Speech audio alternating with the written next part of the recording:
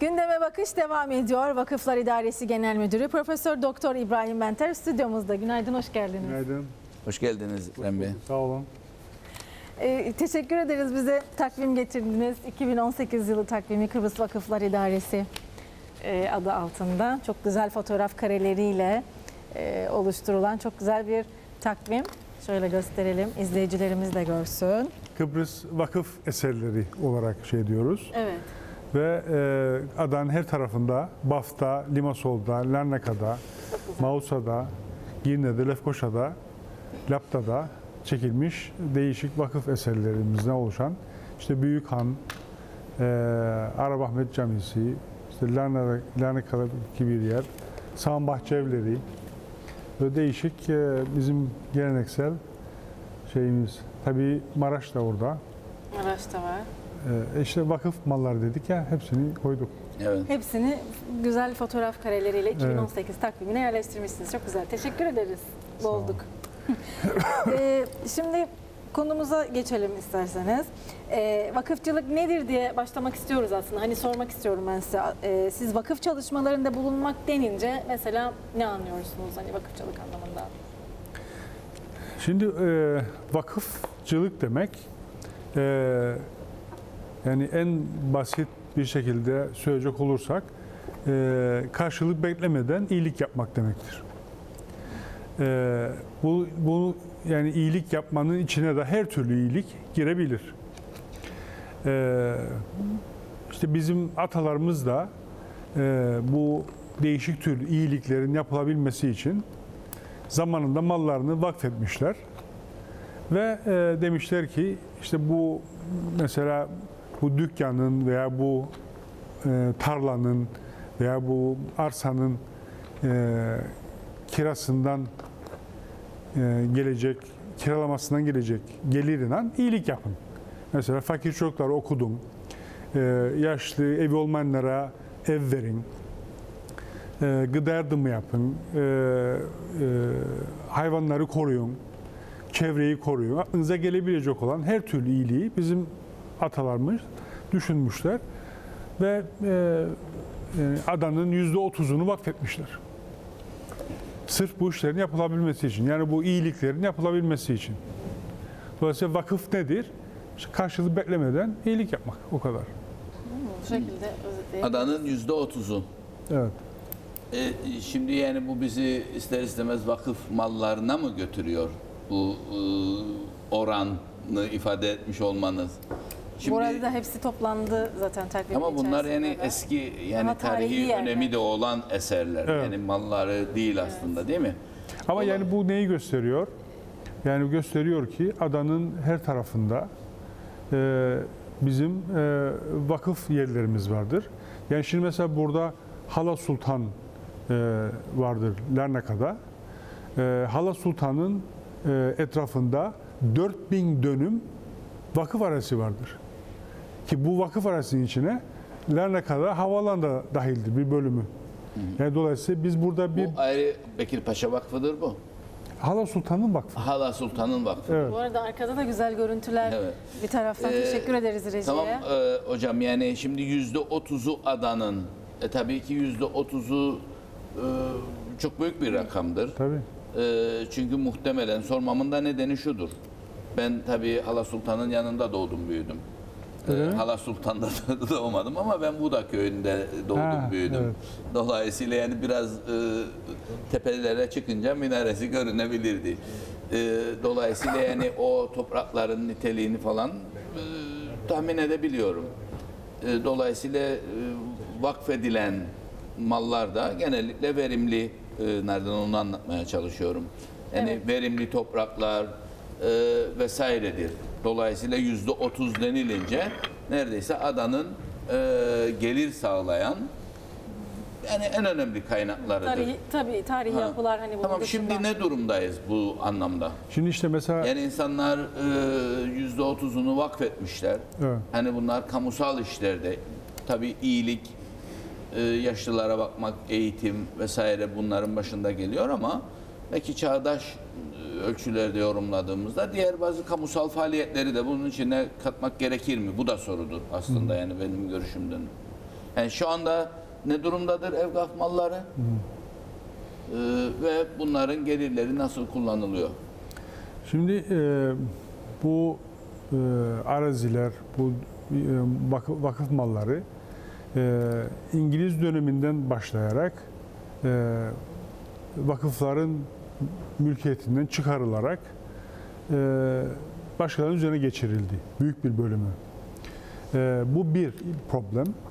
İkinci problem de zaman içerisinde e, toplumdaki bu vakıf bilinci de Yok oldu. yok oldu.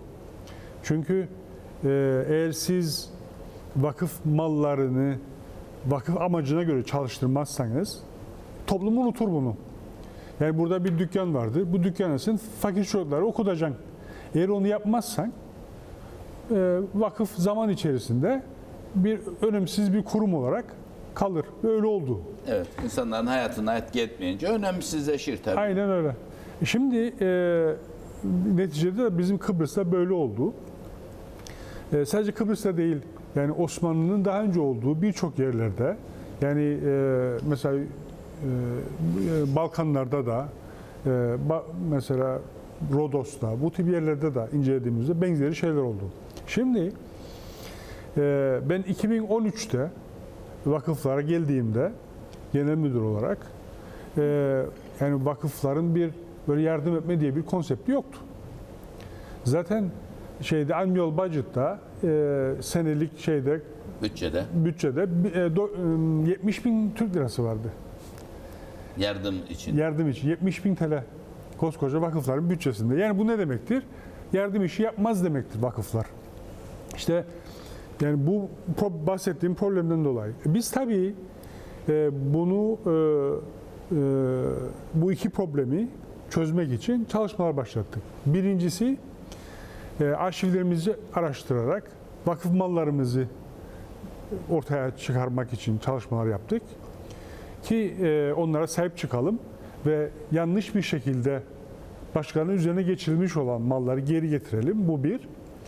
Ve ikincisi de vakıfların görevini yapmaya başlamamız gerektiğini inandığımız için başladık şey e, vakıf amin yardım bütçesini artırmaya.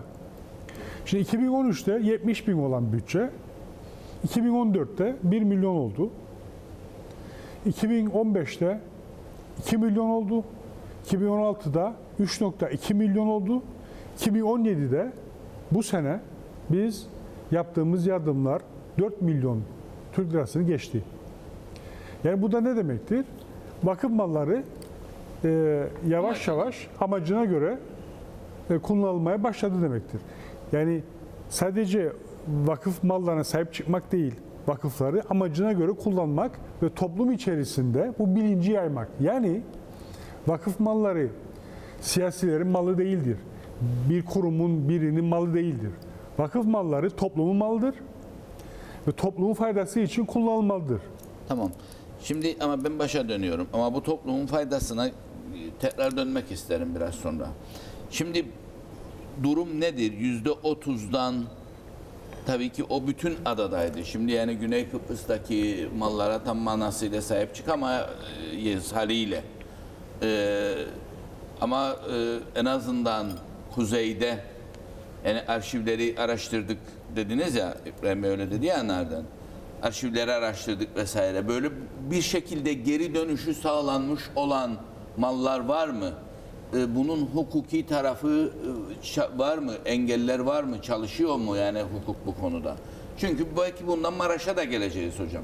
Çünkü kapalı Maraş'ın e, işte vakıf malı olduğunu iddia ediyoruz. Ama herkes bunu siyasi olarak algılıyor. Yani e, bizim Kıbrıs Türk tarafı olarak bunu siyasi olarak ortaya attığımızı e, Maraş'ı Rumlara vermek istemediğimiz için tamam yani böyle bir şey ortaya attık. Ha bunun dayanakları olduğuna inanan var somut. Hayır ya biz bunu uydurduk çünkü dediğim gibi maksadımız zaten Rumlara vermemektir. Dolayısıyla biz buna bazı gerekçeler, kılıflar uyduruyoruz. Eğer böyle bir şey varsa e, yani ben beklerim yani aynı şekilde Girne'de, Karpaz'da, Lefkoşa'da Yani bir dükkan bir dükkan. Yani Maraş'ı belki büyük bir şey. Geri dönüşünü vakfa sağlamak istiyoruz ama Lefkoşa'da, Aras'ta da bir dükkanın dönüşünü hukuk açısından, hukuk karşısında o bir dükkandan o bilmem binlerce dönüm e, arazi aslında aynı şeydir. Var mı böyle geri dönüşü sağlanmış olan şeyler? Veya üzerine gittiğiniz engelleriniz var mı? Ee, Siyasi engeller, hukuki engeller, toplumsal engeller. Evet. Şimdi tabii bu bunlar e, kolay çalışmalar değil. Evet. E, yani e, hem Kıbrıs'taki yani hukuk sürecinde güçlü olabilmemiz için hem yani uluslararası süreçlerde güçlü ola- olabilmemiz için ciddi çalışmalar yapılması gerekiyor. Ve biz bunları şimdi yapıyoruz. Tabii bu çalışmaların yani birinci basamağı nedir? E, bütün belgeleri ortaya çıkarmak, e, ispat etmek için. İşte bu yer, işte mesela Maraş ve herhangi bir yer, işte benim elimde tapu vardır. Bu tapu da diyor ki, mesela İngiliz zamandaki bir tapu, bu Maraş malıdır diye gösteren tapuları ortaya çıkarmak ve ondan sonra yapılan Vakıf malıdır. vakıf mal olduğunu gösteren olduğunu vakıf mal olduğunu gösteren tapuları ortaya çıkarmak ve daha sonra yapılan işlemlerin yanlış olduğunu ispat etmek için. Bunlar yapılıyor ve tabii bizim hukukçularımız da bu konuda e, hazırlık yapıyorlar. E, ve bu dediğiniz e, yani yapılıyor. Yani ama tabii şu anda biz mesela Avrupa mahkemelerine bu haklarımızı aramak için gitmedik. Avrupa Mahkemesi'ni yani boş verin diyeceğim. Lefkoşa Mahkemesi'ne gitti, gitmedik, hiç gitmedik. Yok Böyle bir şey duymadık yani biz. Yok ama mesela e, e, 2000 yıllarında e, gidildi e, mesela Maraş için ve Ama orada bakın- bir Mausa Kaza Mahkemesi'nin bir şeyi çıktı, e, e, kararı çıktı. E, kapalı Tespit kararı. tespit kararı çıktı. E, kapalı Maraş vakıf maldır diye ve bundan e, e, bir herhalde bir 6 ay oldu. 6 ay öncedeki burada bizim e, yü- yüksek mahkeme de o kararı onayladı. E, yani bizim sunduğumuz e, e, şeylere, Kararı onayladı. belgelere göre o kararı onayladı. Tamam şimdi e, aynı noktaya dönüyoruz ama özür diliyorum ısrar ettiğim için. Yani nihayette e, Maraş'taki mallar Rumların üzerine kaydedirildiği için ben de öyle o ifadeyi kullanayım. Aslında şimdi Rumlar hedefte e, gözüküyor ve bu politik bir hal alıyor.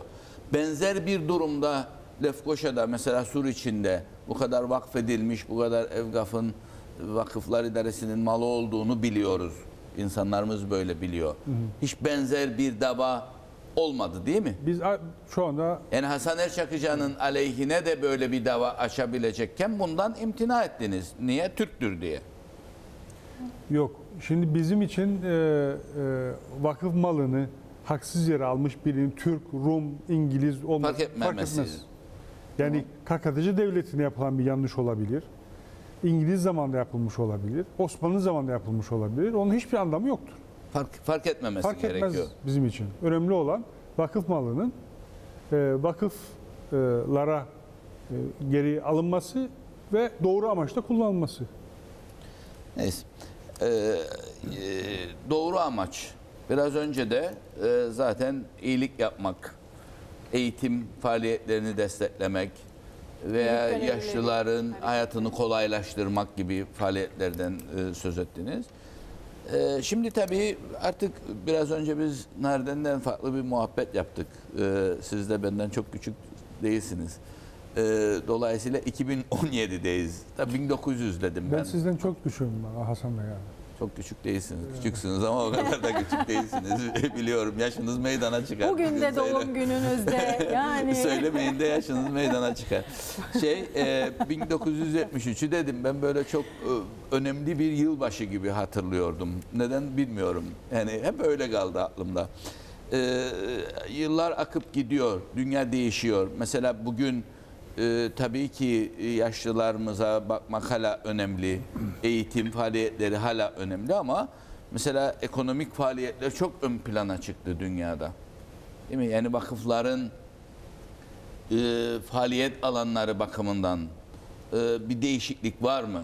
Yani toplumsal yarar dediğimiz şeyin anlamı değişti mi? Eskiye göre, şimdiye göre değişmesi gerekiyor mu? Vakıflar bakımından da. Tabii yani şimdi e, yani vakıfların da kendini güncellemesi gerekir ve yani hem gelirlerini artırması için e, bugünkü şartlarda yatırımlar yapması önemli ve bir de e, işte bugünkü ihtiyaçlara göre de e, çalışmalar yapması lazım. Mesela e, örnekler verebilirim. E, mesela bizim e, Hamitköy'de bir arazimiz var. E, oraya e, bir böyle 40 tane ev e, yapıyoruz. Böyle 2 artı 1 gibi yan yana. Güzel bahçeli ama. E, onu e, hem kiralamaktır amacımız, gelirimizi artırmak için. Hem e, ihtiyaçlı olan e, insanlara, mesela bir, çok gelir bize, e, kocası gitti veya kocasından boşandı, kadın çocuklardan gidecek bir yer yoktur. Mesela o tip insanlara verebileceğimiz yerler. Bir bölümü de kadın sığınma evi gibi kullanabileceğimiz bir proje. E, Yani bugünkü ihtiyaçlara göre bizim de kendimizi şey etmemiz gerekiyor. Buna elbeten Samanbahçe gibi. E, Samanbahçe bir anlamda evet Samanbahçe gibi. Yani onu ilk sosyal konut şeyi olarak ben yani çok sevdiğim bir yer orası. Şimdi restore Evet. edildi. Burada Evet, da evet. fotoğrafları var tabii. Tabii evet. Şimdi tabii buna ilaveten e, bizim yani vakıflar idaresi olarak görevimizin bir tanesi de başka bu tip güzel işler yapanlara da destek olmak. Kadın sığınma evi çok güzel bir proje. Evet. Şimdi Düşünmeniz çok Lefkoşa e, Belediyesi, Belediyesi de. Mehmet Harmancı bir güzel proje başlattı şeyde, surlar içinde. Şeyle kadınlara kadın sığınma evi diye. Mesela biz de o projeye e, çok destek veriyoruz. Yani bizim şeyimiz hem kendimiz bu projeleri geçi- hayata geçirmek hem de topluma faydalı işler yapanlara destek olmak. Yani Başka kanser, neler var? E, Yani biraz bilgilendirme. Yani bu güzel dediği gibi neredenin Evet. insanlar şimdi e, Hani toplumun da ihtiyacı ya hani yıllarca konuşuldu bu kadın sığınma evi. Evet. O yüzden. Şimdi tabii yani biz e, dediğim gibi 4 milyon lirayı e, çok geniş yelpazede harcıyoruz. e, mesela okulların birçok ihtiyaçları vardır. Onlara yönelik. Çünkü eğitim bizim önceliklerimizden bir tanesi. Mesela her sene okullar açılacağında bütün okullara e, para yardımı yapıyoruz. E, ihtiyacı olan çocuklara işte üniformadır, ayakkabıdır, kırtasiyedir veya İngilizce kitabıdır onları karşılıyoruz. Ya bütün okullar olduğu için bunlar büyük proje. Yani 500 bin, 600 bin liralık projeler. Buna ilaveten bir diğer önceliğimiz de engelliler. Ee, bizim her ay engelli ailelerimize yaptığımız destekler vardır. Ee, yani gıda yardımıdır, bez yardımıdır, sandalyedir, ilaçtır, her türlü ihtiyaçlarını karşılamakla şey. Evet, şu an ekranda da görüntüler. Evet. Vakıfların Mesela- verdiği hizmetleri anlatan kamu spotu. Engellilere Dayanışma Derneği vardır. Ömer Suay var orada. Onlar yaptıkları projeye destek oluyoruz. Ee, diğer taraftan dediğim gibi mesela yaşlı insanlarımız vardır. Ee, maddi durumları iyi olmayan işte evlerinin tamiratları vardır. İşte damakıdır veyahut da işte tuvaletin sıkıntı vardır veya herhangi başka bir şey. Mesela onları gidip yaptırıyoruz. Ee, e, yani bir de çocukları e, galiba iyilik yapmaya alıştırmak için bir projeniz var. Yani onu Evet. sık sık basında da görüyoruz. İyilik, ben iyilik sizden gönüllüleri. Yaşa iyilik gönülleri projemiz var. O da nedir? Adanın değişik yerindeki çocuklar, gençler e, toplanarak e, değişik projeler yaparlar. Mesela işte giderler bir hayvan barınağını ziyaret ederler. Oradaki hayvanları Süper. gıda götürürler Harika. e, falan. Başka ihtiyaçları Evet, varsa sorarlar, Hatta ederler. görüntüde, görüntüler de o kadar güzel ki sizin anlattığınız şeyleri tam gösteren hani görsellerle bugün reji harika yani. Evet şey e, mesela e, çevre temizliği yaparlar e, çocuklar. E, işte mesela Boğaz piknik alanıdır. Mesela o e, Alagadi'deki kaplumbağanın olduğu yerde Sahil. sahili temiz, temizliği falan yaptılar. Yaşları ziyaret edip yaşlı bakım evlerinde Onlarla oturup konuşurlar, şey ederler, hediye götürürler falan. Mesela yaşlı bakım evi demişken yani böyle bir projeniz olabilir mi? Yani biraz daha e, çağdaş ölçülerde yaşlı bakım evlerine sanırım ihtiyaç vardır. Ve Yani belli merkezlerde hem ailelere yakın hem insanların yani gönül huzuruyla yaşlıların kalabileceği hatta belki de sadece gündüz e, bırakabilecekleri Koşulların yerler. Yani olduğu. sosyalleşmeleri bakımından. Çünkü yani yaşlıların ciddi bir sosyalleşme e, problemi var. Yani çalışma hayatı şekil değiştirdi. İnsanlar sabah erken e, işte kışın tabii karanlıkta evden çıkıyorlar. Karanlıkta evde eve dönüyorlar. Ve özellikle eşini kaybetmiş olan yaşlılar e, tamamen yalnız e, oluyor. Yani hani bakıma muhtaç olmasa bile Yalnızlık bile ee, çok büyük yani hani sorun. belli bir geliri olsa bile ve fiziki durumu da çok kötü olmasa bile e, aslında başka problemlere neden olabilecek, e, psikolojik problemlere neden olabilecek şekilde bir yalnızlık e, söz konusu Nerden'in belirttiği Evet. gibi. Şimdi işte onun için yani, Yani e, gündüz e, yani hani çocukları kreşe verir gibi neredeyse öyle bir ihtiyaç ortaya çıkıyor. Yaşlıları sabahleyin götürüp akşamleyin alacağınız kendi yaş gruplarındaki insanlarla beraber Belki belki, bazı etkinlikler, etkinliklerle de şey. desteklenecek. Yani evde dizi izliyor olabilir nereden mesela de. Yani o diziyi üç kişi bir arada izlemek. Hadi bakalım şimdi e, kız ne yapacak, Onlara oğlan da- ne yapacak evet, diye evet. yorum yapmak, onun dedikodusunu yapmak.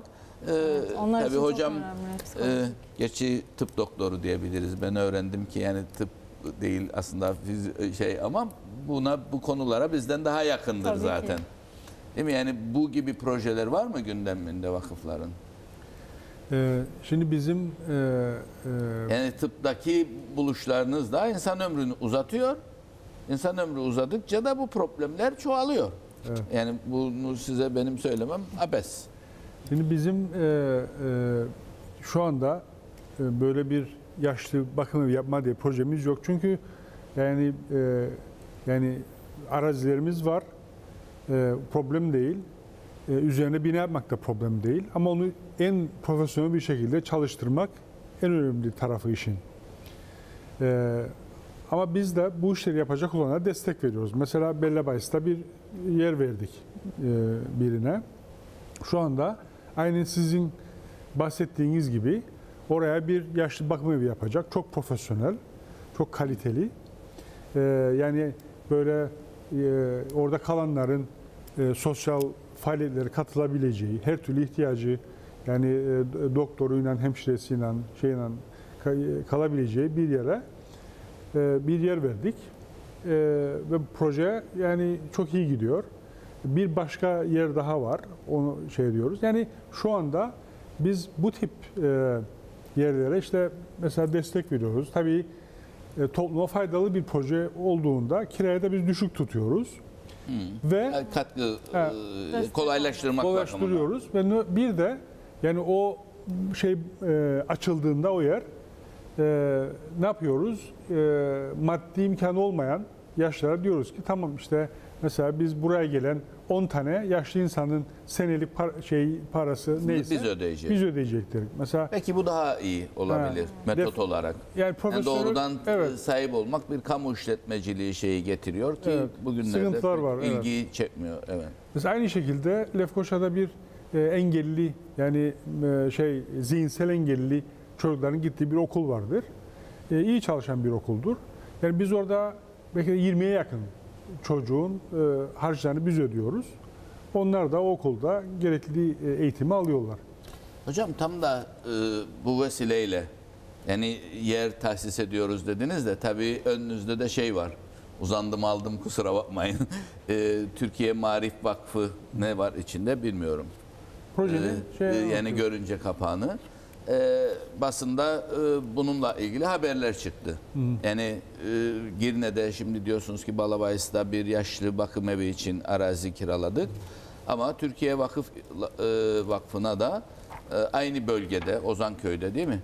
E, bir e, arazi kiraladığınız veya verdiğiniz ve orada bir dini eğitim maksatlı bir okul yapılacağı e, iddiaları vardı. Siz buna açıklık getirdiniz ve dediniz ki hayır burada bir okul yapılacak Ama e, İmam Hatip Lisesi falan olmayacak. Bir e, bir kez daha dinleyelim evet, bunu e, nedir? Kişilere eğitim vereceği Ee, açıklama. iki yani bu dinle ilişkisi vakıfların tam olarak nedir? Bu ikinci kısmı ama. Evet. Ona dair başka şey de soracağım. Şimdi biz tabii Onu e, sormamız gerekiyor. Yani biz dediğim gibi e, yani Vakıflar İdaresi olarak yani topluma faydası ola- olacak olan projelere her türlü desteği veriyoruz. Bu desteklerin bir tanesi de e, mesela e, arazi kira, kiralanacaksa onları sembolik rakamlara kiralarız. Yani işte, Yani diyelim ki bir e, ekonomik faaliyet için daha yüksek kira bedelleri talep ederken ki yani vakıflar idaresi güçlensin diye bir sosyal faaliyet için daha düşük kira bedeli ta- talep tabii, ediyorsun. yani adam oraya otel yapacaksa da para kazanacak. Bize de gereğini Hakkımızı vermesi istiyoruz, gerekir. evet. Maksimum parayı kiraya almak için çalışıyoruz. Ama diğer taraftan Kanser Derneği bir e, bizden bir yer kiralayacaksa ona diyoruz ki işte 100 TL senede örneğin yani ki e, o işlerini yapabilsin diye. Şimdi bizim tabii e, tarihten de gelerek e, okullar için e, e, verdiğimiz araziler vardı. Yani bunlar okullara, devlet kurumlarına, hayır kurumlarına. Yani işte benim önümde e, şeylerimiz var. E, mesela Lefkoşa Türk Lisesi, 20 Temmuz Lisesi, Sedat Semavi Endüstri Meslek Lisesi, Demokrasi Ortaokulu, mesela üniversiteler, Can Yuva Kreş ve Anaokulu, mı? İstanbul Teknik Üniversitesi, Mesele Teknik Üniversitesi, Özök Üniversitesi, Gine Amerikan Üniversitesi, Oğuz Veli Ortaokulu, Girne Üniversitesi, Doğu Akdeniz Üniversitesi, Namık Kemal Lisesi. Ve gidiyor yani böyle mesela dernekler Kıbrıs Türk Mücahitler Derneği, Kıbrıs Yeşilay Derneği, Kıbrıs Alternatif Sporlar Derneği, Öğretmenler Derneği, Milliyetçi Düşünce Derneği, Uzat Elini Yardımlaşma Derneği, İş Kadınları Derneği, Kanser Hastalarına Yardım Derneği ve gidiyor yüzlerce şey var burada yani her tarafta. Alan içi Kadınlar Derneği, Çağdaşlar Kültür Derneği, Kuzey Kıbrıs Seramikçiler Derneği.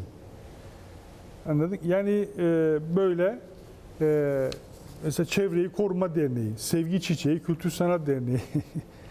yani bakanlıklar ve şeyler. Yani bu bizim görevlerimizden bir tanesidir. Topluma faydalı iş yapacak olan kurumlara Yardım. sembolik rakamlar kiralıyoruz. Şimdi bu spesifik olarak sorduğumuz soru, yani e, Türkiye Marif, Marif Vakfı, e, Türkiye Devleti'nin kurduğu bir vakıftır. Bunun amacı da Türkiye dışında e, birçok yerlerde kaliteli eğitim vermek için okullar kurmaktır. Bu Marif Vakfı da birçok yerlerde, Balkanlarda, Afrika'da, Asya'da okullar kurmuştur. Buradaki amaç ki burada verilen eğitimler genelde İngilizce oluyor. E, o memleketteki çocuklara kaliteli eğitim vermektir. Kar amaçlı da olmadığı için e, özellikle e, fakir çocuklar için yapılmış bir şey değildir. Ama fakir çocukların da gidebileceği eğitim kurumlarıdır bunlar. Amaç e, yazıyor zaten bu amaç şeyinde. İşte Avrupa'da, Amerika'da, Kanada'da e, üniversite eğitimi e, alabilecek seviyede talebe yetiştirmektir vermek. vermektir. Ee, ve bu açılan bir sürü okul açtılar her tarafta. Bu okulların hiçbirinin dini vasfı yoktur.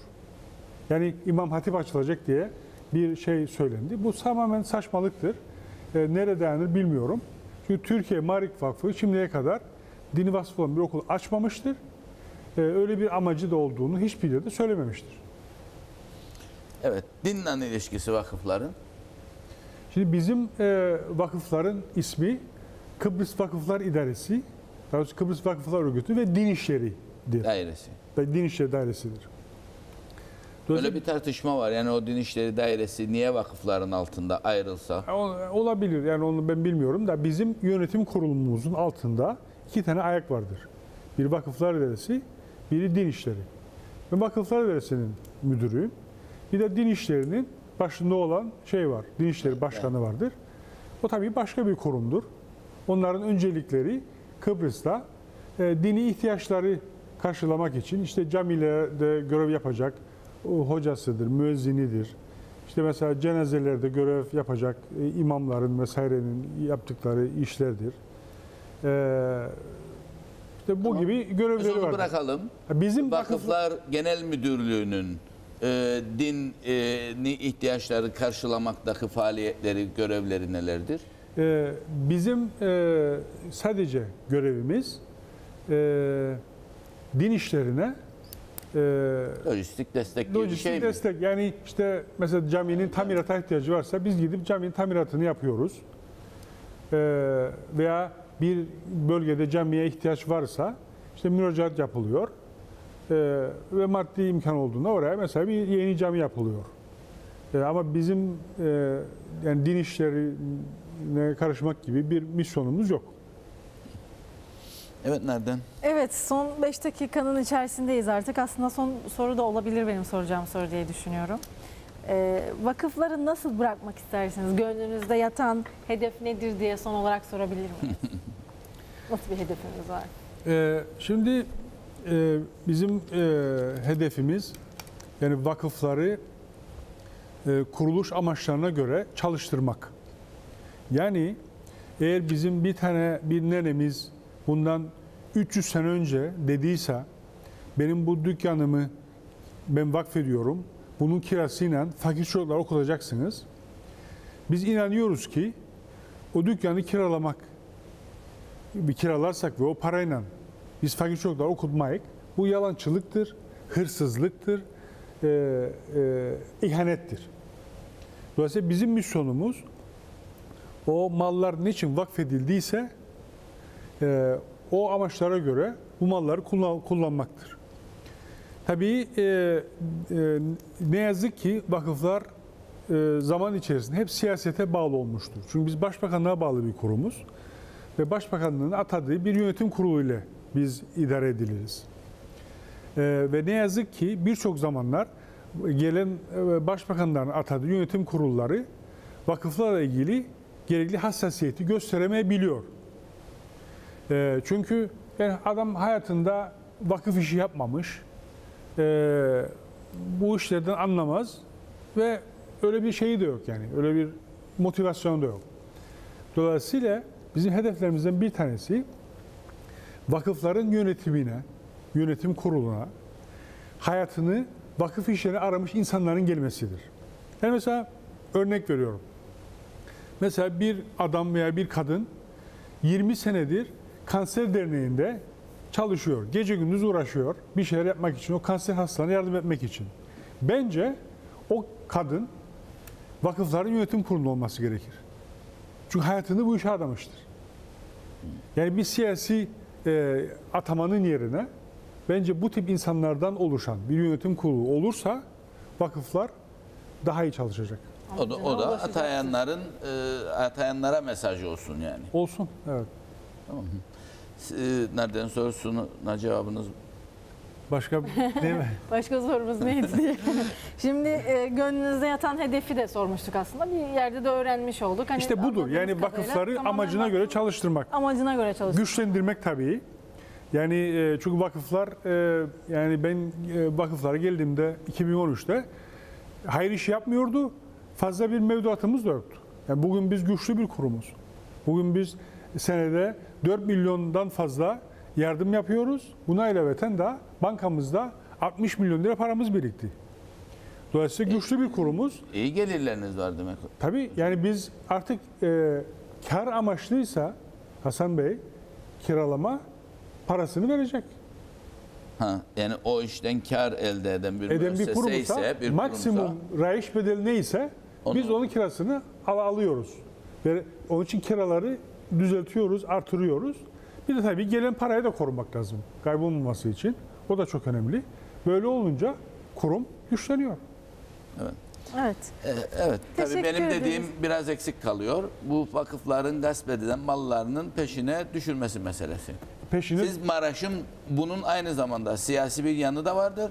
Maraş'ın peşine düşenler belki Türklerin ele geçirdiği vakıf mallarının peşine düşmekle de sorumludurlar. biz mesela bu haf, bu, e, üç, Yani bunu iki hafta önce sadece sizin için söylemiyorum. Düşenler dedim. Çünkü geçmişte de düşer. İşte başta Taner Derviş Bey buradan saygıyla anıyorum.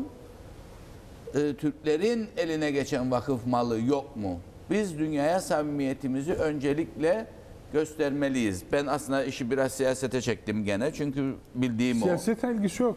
Bu yapılan yanlışsa yanlıştır. Mesela biz 3 hafta önce Mausa tapusunda çalışmalara başladık. Orada mesela çıkıyor ortaya. Ee, Türkler üzerine geçirilmiş vakıf malları vardır. Rumların üzerine geçirilmiş vakıf malları vardır. Hepsi çıkıyor. Hepsini. Yani bir samimiyet sınavıyla da karşı karşıyayız demek istiyorum bu konuda. Yani hırsızlık hırsızlıktır, yanlışlık yanlışlıktır. Yani şey millet milliyetine göre şey yapamazsın yani. Peki teşekkür ederiz. Çok teşekkürler hocam. Noktalıyoruz. Teşekkür ederiz geldiğiniz için. E, size hediyemiz vardı. Ee, Çok güzel. bu teşekkür Kıbrıs ederiz. vakıflarını Kıbrıs e, kapılarının Kapıları. yapılmış bir e, şey Evet, plaket. gösterelim izleyicilerimize de. Çok Üzerinde güzel. de bizim sloganımız vardır. İnsanların en Evet. değerlisi, Kıbrıs insanları seven ve onlara faydalı olandır. Evet. Ee, Ve Kıbrıs eski kapılarımız. Kıbrıs'ın eski kapılarından oluşan çok değerli bir e, armağan sizin tarafınızdan. Çok teşekkür ederiz. Kıbrıs Vakıflar İdaresi. Ben İnsanların en değerlisi, insanları seven ve onlara faydalı olandır demişsiniz. Çok Evet. teşekkür ederiz geldiğiniz için.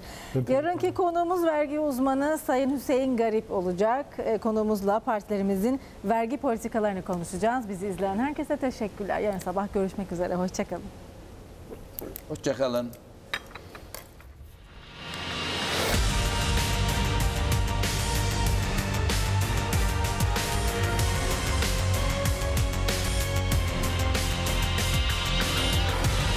Hasan Erçakıca ile gündeme bakış Kıbrıs Vakıflar Bankası'nın katkılarıyla yayınlanmıştır.